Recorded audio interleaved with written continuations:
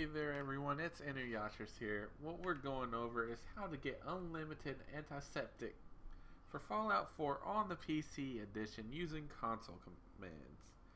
What you're going to want to do is hit that squiggly button right there above tab. Type in player.add item space.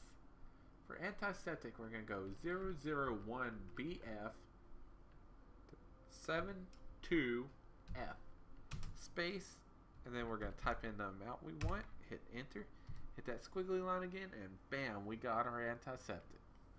I hope this helps you out. You all take care. Have a wonderful day. Thank you guys so much for watching the video. I really hope you enjoyed.